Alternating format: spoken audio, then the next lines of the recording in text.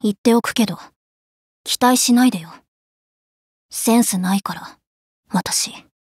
ええー、そう言われると逆に期待しちゃう。って、あれ？この放送紙、スポーツ用品店さんの？想定土。この間、部屋で買い替えるか悩んでたじゃない。それで、想定土。言ったでしょ。期待しないでって。別に、使わないなら私が使うから。えー、使いますよただびっくりしちゃっただけで。綾部さん、センスなくないですよ。カレン、ちょっと悔しいくらいだもん。プレゼント、ありがとうございます。大事に使いますね。好きに使えば。あなたのものなんだから。弟は、も可愛いんですよ。私が何かに挑戦すると、負けじと後をついてくるのです。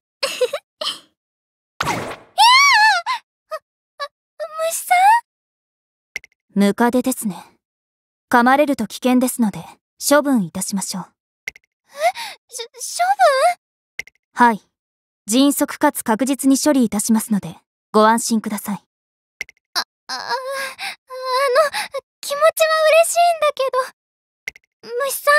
お外に逃がしてあげたい。ダメかな問題ありません。ですが、ライスさん、恐怖を感じているのでは？た、確かに怖いけど、でも虫さん